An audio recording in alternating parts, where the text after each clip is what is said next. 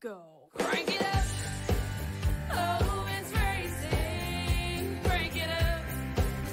Oh, it's racing. Crank it up. Oh, it's racing. Crank it up. Oh, it's racing. In love with the ride. Burning rubber smells real nice. Fuel it up once or twice. Come on, fast is the way to drive. Crowds all on their feet. Not one bothered by the heat. Imagine them in the driver's seat. Checkered flag would be sweet. Crank it up. Oh, it's racing.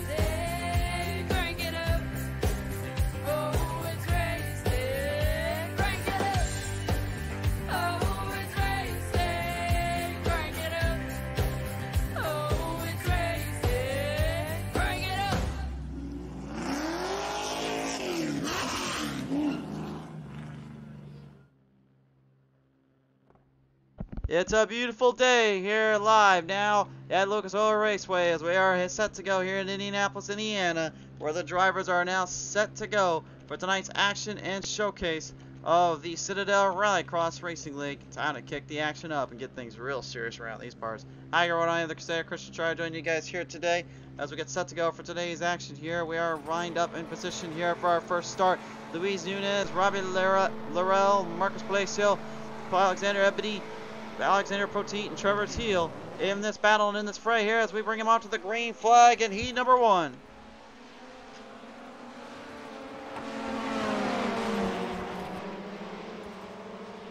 Through the start, Robbie Laurel already getting a good jump out of the gate here, enters into the Joker. Out of the gate, or excuse me, Luis Nunez does. As the rest of the drivers here just trying to stay out of trouble. Nunez with the early advantage here out of the first gate, out of the first runs they go. Drivers moving their way through the chains here, looking for some openings here, looking for some openings through the charge, to the ground they go. Every driver looking for their area, looking for their shot to hit up as fast as they can and hit as much speed and time as they can possibly bring to the table. Not so easy here when it comes to here at Lucas Oil Raceway. The track is a little bit more squared off, a little bit more centered off, but it makes for some interesting positions to really rally around, no pun intended, and make for some impressive battles here throughout. Time limit set on these boys here, but this laps right now, We've only got about four laps left to go here as we go on board with a little bit of Alexander Ebony taking Marcos Palacio for a little wild ride there off the corner end. Ebony right now dealing with Palacio there on that corner as they swing him right to the tight corner and tight ends to the jump it off. The fish fishboard number 99 here of Alexander Ebony right now trying to hold the field down, trying to hold these guys back a few pegs, trying to keep this one on his line, on his turf. Looking for, an, looking for a wave around off the end. Straight shoots it to the corner here. Great little tack shot off the end. Luis Nunez right now, your race leader here with Robbie Laurel right now trying to find a way to catch back up to him. Has not taken the Joker lap just yet. Luis Nunez, though, has. That could play a factor here late in the run. And just like what we saw at Iowa Speedway last time out, that sharp 90 degree in swinging left turn certainly gets the better of some of these guys. There's two of them down there that make things extremely difficult. We'll talk more about that here in just a moment. Three laps to go here, though. Field continuing to fire on down. Nunez right now in a hot stake, hot battle here for his points race and for his championship hunts. He's trying to get everything he can to these guys, trying to get some speed off into the distance, into the corners.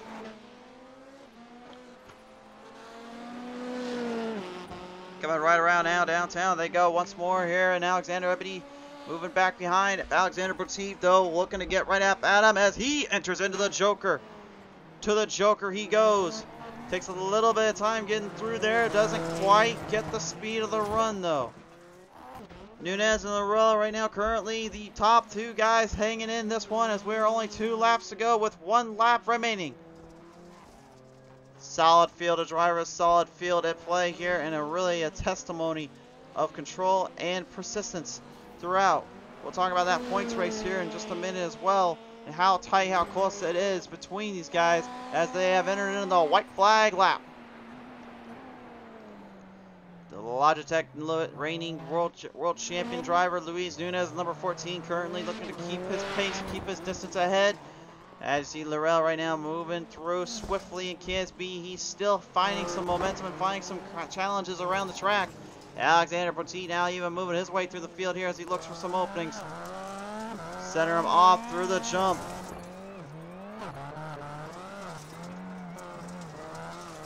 You know, we've been so used to calling these guys down on the oval version of this track here. We forgot all about that in-soil road course. It can make things quite a difficult ride and quite a unique little battle here as they bring him down to the checker flags. Robbie Laurel will have to go second to Luis Nunez as Nunez will bring home the victory in heat number one. Marcos Palacio getting put back into fifth. Trevor Teal goes sixth. So top driver is going to have to deal with some added pressure, some added content here, to say the least. Last chance qualifier now coming up on their stage. Let's take a look at heat number one results. So I'll pop this one up again here, race producers. So Citadel Rallycross right now showing that Nunez, yet again the Spaniard, bringing it home for another charge and a half. The, the American Robbie Laurel, though, giving it some taste in the in the minds. The Germans bringing some love, though, from Ebony and then, of course, American Poteet taking some charges while the Argentinian himself, Marcos Palacio, firing hard. Trevor Teal just not quite enough speed in this one as we enter in to our next heat. This is the last chance qualifier. Uh, Badi, Poteet, Palacio, Teal in this one. Set them off. Last chance qualifier time. It's green flag. Here we are.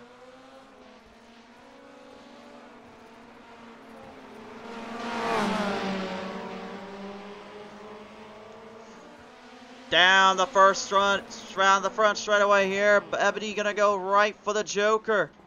Enters the Joker in, beautifully done. Takes one right at Palacio. Palacio having to fight right back at him. Those two had a war on their hands in the last race. Now they are going to have to deal with each other at their best yet again. Trouble down there for the Subaru machine of the 72s. Trevor Teal as he is bouncing and jumping all over the rounds.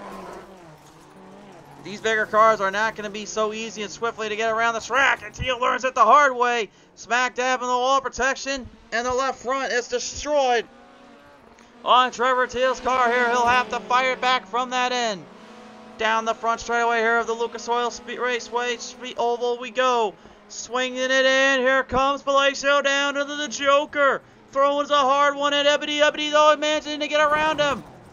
Palacio was looking for a shot. Swift kick in the arm, looking to take that one away from him with two to go. He knew he had to do it. It was going to get too far away. The times right now are belonging to the shorter wheelbase, the shorter drive. That field, that Ford machine here of Ebony is making a great showing here with the fishboard camp. You can see that small, that shorter wheelbase, that shorter drive that Luis Nunez had earlier on too. That's what's making these cars so much better in his case for his mind, and he's trying to use that to its fullest advantage.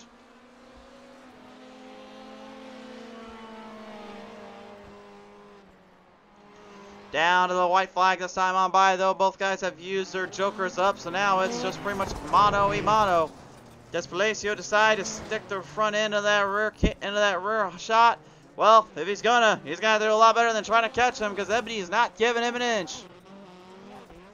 Last minute rounds around the track here, moving their way to the field. Poteet needs to start figuring things to dial this thing up a little bit better. He's not gotten the speed that he really feels like he should get, nor really as well he should be getting.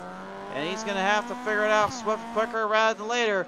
because now off of the final corners, the last chance qualifier will belong to the 99. Alexander Ebony will take this one home. Palacio going second. Third goes to Alexander Poteet. Trevor Teal did not finish. Warm up time here on PTM Racing TV. And let's take a look at our at our race info here real quick in just a moment after our results. Take a look at this one right now, folks. B this last chance qualifier results in the books. And what a showing here from Alexander yet again showing you why he's one of the top guys on that roster looking to take down the reigning the world the world championship caliber drivers. Palacio though, not out of it yet. He certainly has been proven that, but he needs to get something figured out. That Subaru is not cutting the corners as well as I think he or anyone thought it should.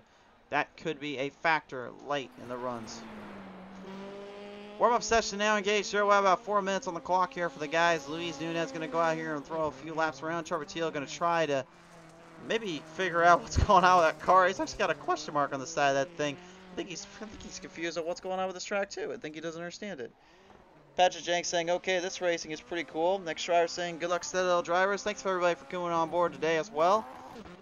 So now, race fans, let's take it down to our track tech talk for the evening here. And no, this is not a cell phone. No, this is not a banana you see on your screen right now. What this is is the actual Lucas Oil Raceway Rallycross style configuration.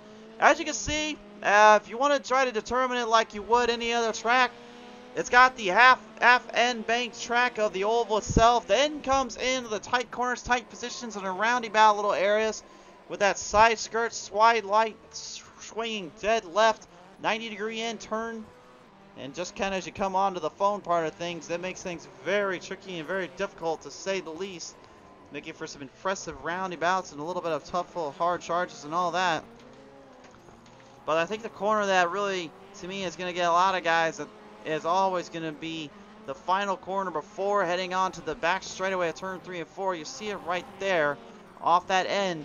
Once they get into that tipped area, then you have to carry all that speed and really bring it to full maximum potential if you want anything to go your way.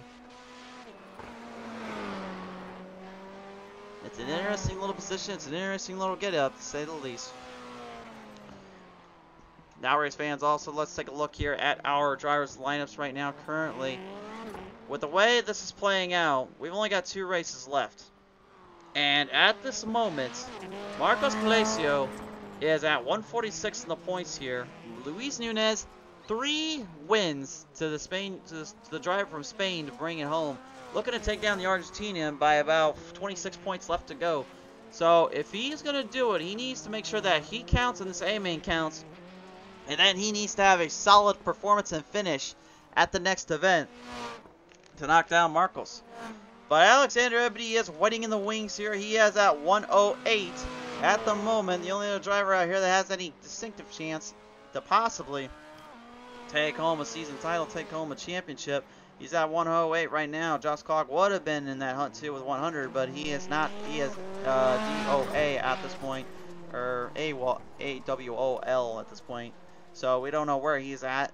Palacio, Nunez, and Ebony, though, the two, the three drivers are going to have to keep an eye on. That points race, very critical and crucial, as many of these drivers will find out as they continue to drive along. Really tight ends and tight, tight tracks, tight spots to be put into. This place definitely can get the better and the best out of drivers and make things very, very difficult. And we've seen it here time and time again. It continues to go.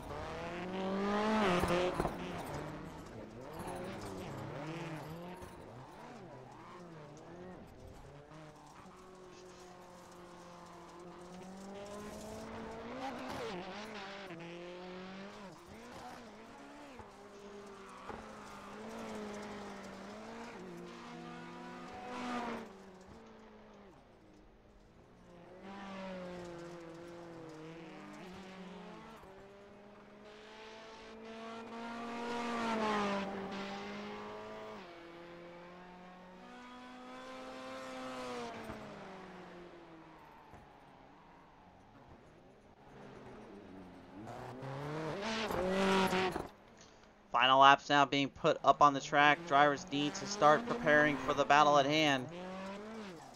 Nunez right now out of the warm-up session. Surprise, surprise. Got the fastest of the times here. Laying down at 41.58 out of the crew. 42.08 was the second fastest. That was set by Robbie Laurel.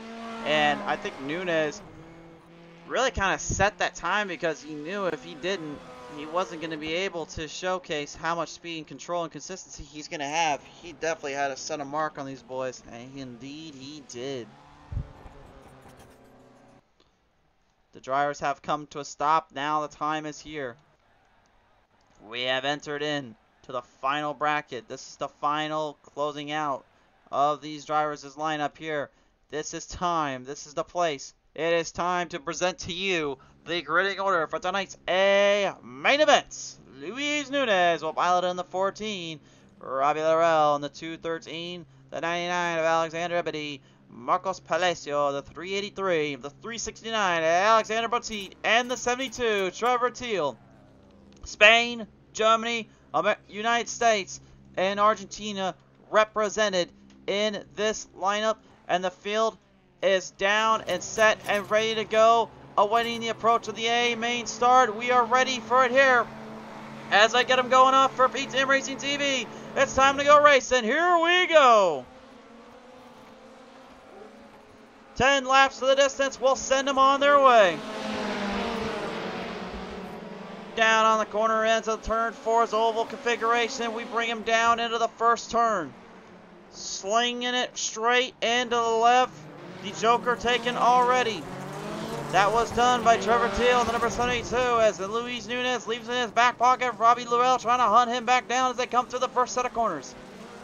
Backed into a corner they go here, jumping off the jumps they go. Nunez trying to hang in there. Laurel looking for an opening or two to get back at him. Palacio right in that mix. Palacio trying to get something going at Ebony here yet again as they bring it right through the corner here. A little bit of a better turn from the Subaru as Palacio got a little bit of a charge there and Ebony. Laurel trying to get back at it though at Nunez here, but can't seem to find his speed, can't seem to find his distance and control. Car isn't quite there yet. Palacio down to the Joker. And throws another haymaker there, but does not quite get the speed to clamor at Ebony. Ebony is just completely outsmarting and outclassing him through these runs and through these momentum takes. Nunez doing much of the same, trying to hopefully pull off a title win with Palacio being where he's at right now. He knows this is exactly what he wants. This is exactly what he needs to possibly have a chance at taking it home.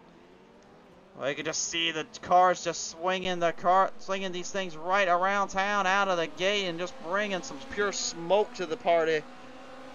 And it's not the kind of smoke you see on 420. That's the kind of smoke you see when you're when you're driving a, bu a bunch of hunk of tons of cars and machinery out on the track. Trevor Teal slamming it right into the wall, maybe trying to find a little bit of a wall bang end to sweat that thing straight to the left more. I hate to say it, but iRacing doesn't quite work that way there, my friend. Not unless you're at Fairbury Speedway in those dirt stocks. Come at me there, boys. Eight laps left to go here right now. Nunez still your race leader. Laurel right now is looking for an opening, trying to find some speed here. The American trying to take down the Spaniard here that so many have tried to do so often than not. Nunez has not been outclassed and will not be outclassed no matter what he does. He wants to continue the pressure and continue his drive to survive and make everybody be put on hold and put on notice. You can see these uh, these are not the manual shifters you usually see. These are sequential shifter cars. They're rallycross racing. The same thing actually that NASCAR we use in the Next Gen Cup Series, if you can believe that. And even the wipers do work around here. Imagine when the, when the rain pops up, how well those wipers are going to have to be used then and now. That will make things very tricky, very little interesting to say the least. Well, I don't know how the heck that 99 has been able to avoid Palacio all this time, but he certainly has been able to do so and then bit. Tires threading up, starting to get a little bit harder on the charge, a little bit harder on the nose. If they are not too careful, it could be a very bad spot to be put into. Palacio looking for another opening here. Back at Ebony here. Not still. Can't get it. Take a look at the lap times here. He actually got some ground on him in lap number four.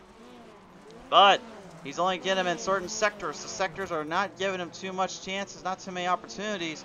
As for Nunez, well, right now here, You won't even try to judge this one. That purple right there, that represents the fastest lap was laid down. Nunez sets the fastest today, 41.743. And that time around, look at this. My, my, Laurel got something on him there. Maybe there's something left in that number 213 camp. He's fighting. He's charging. He's going for something here. Nunez didn't keep him back all the way there, but is he going to have enough time to do it? You can see he is absolutely working the throttle, working the wheel, and making sure everything plays out exactly the way he needs it to, but he's trying to avoid any penalties as well. That's why you see them being very careful going around those bumps and those corners and the turtles. They cannot overshoot them, they can't overdo them. Honestly, if, you, if you've never seen a rallycross race, you may have been confused for a drifter's race or a, or drifting style track racing.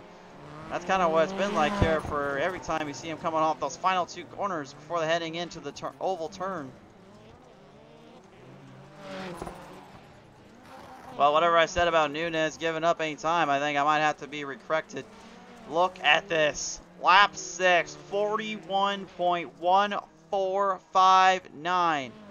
That, my friends, is smoking the competition, the tires, and really anything else that involves not being your name put into that team.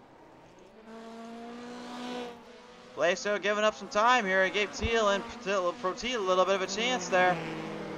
Didn't quite shoot to the gaps, shoot to the runs as well as he wanted to, and I think he knew it. Teal looking to hang on here. Poteet going down low. They says, let's where this see where this one can go. Not quite anything there yet. Stays hanging in there though. Marcos Palacio being caught up too as well. He may have shredded up a lot of the tires there on the asphalt side of things. Remember these guys are switching from dirt to asphalt, so you go from that section, you got less grip, less run. That's why you have to be a little bit more careful and a lot smoother in these things than you ever do in oval racing or even road course racing for that matter.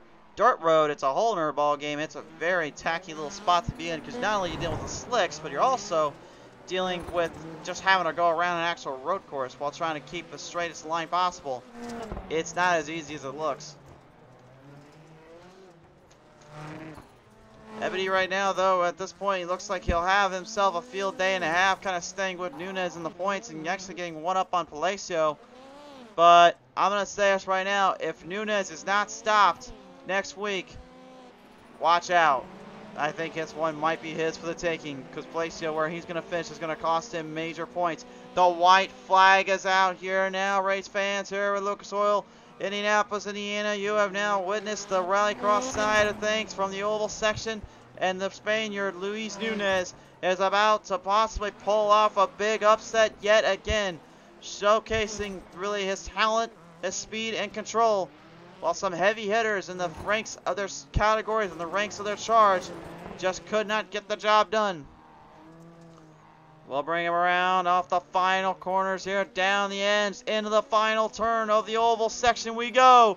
Luis Nunez, the 14, will bring it back home. He's your winner here in Citadel Rallycross. Second will go to Robbie Laurel. Third, Alexander Ebony. And what a performance by all. Marcos Palacio may be sweating a little bit inside. He may be thinking a little bit twice about this.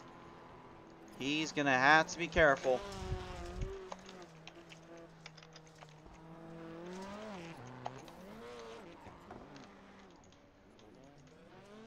What a performance here for the driver out of Castellon, Spain. Nunez, man, he just cannot seem to be outwitted. He cannot seem to be outmatched.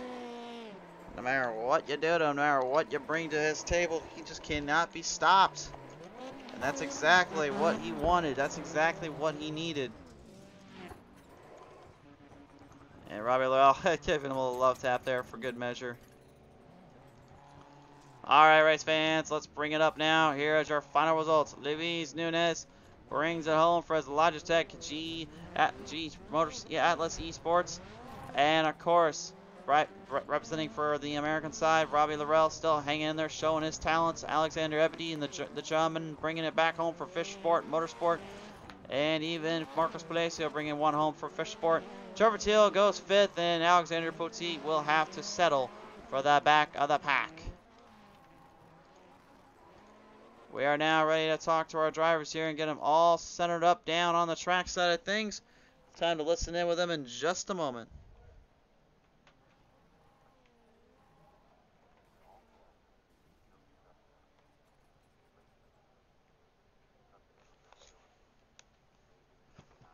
Well, we're waiting right now currently for the drivers to come on by, so we'll go ahead and give them a minute. I think they may be celebrating a little too much down there. We'll give them the countdown here. We, of course, give everybody a chance in the top three to come up and say a few words, say a few things before we sign off for the night. Race fans, again, though, if you did enjoy the show and you look forward to more racing and you want more rallycross action, oh, I will uh, let you guys know that we have something fun coming up for you. It's going to be down at Iowa Speedway. We're bringing the rallycross action back to you, boys. Get ready because these boys of the Moonshiners Rallycross League have something a little bit different they do. Let's just say that. And believe me, I'm ready to call it. I'm ready to see it as well here. Brad Thacker coming on board here. Good to hear from you saying, come on, Alex and Marcos. Well, they definitely put on a show, put on a battle there, my friend, but didn't quite pull off the start, pull off the run there at the very end of it all. But give them credit credit's due. They gave it a good showing for themselves, that's for sure. We'll give them one more minute, and then we're going to go ahead and sign off for the night here. So just kind of be aware of that here.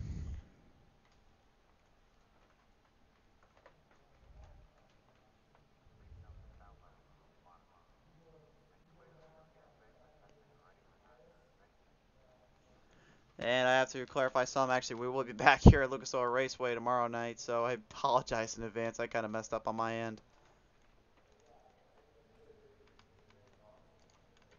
Alright, so we'll go ahead and show our third place finisher here real quick. Alexander Ebony yet again popping up with the third place finish here today.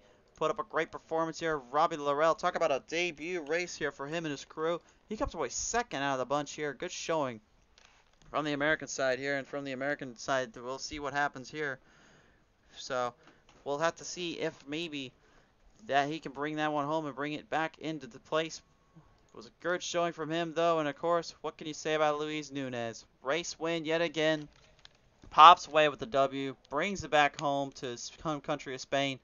This man is certainly something. I feel as though he may be the challenger to take it all home. Alright, well, race fans, we have given the countdown. We give them the clock. I have not received word. I presume everybody is going to call tonight and call today. So we shall do the same. But uh, race fans here from all of us at PT Race TV, we thank you again for joining us and we appreciate your support. We hope you will join us again when the green flag flies here tomorrow night here at Lucas Oil Raceway. But before that, of course, it will be down at Hot Atlanta. We're going to Atlanta Motor Speedway witness the, the Truck Series go on down and put up a fight. It should be a good showing. But for now, thank you for tuning in. See you next time.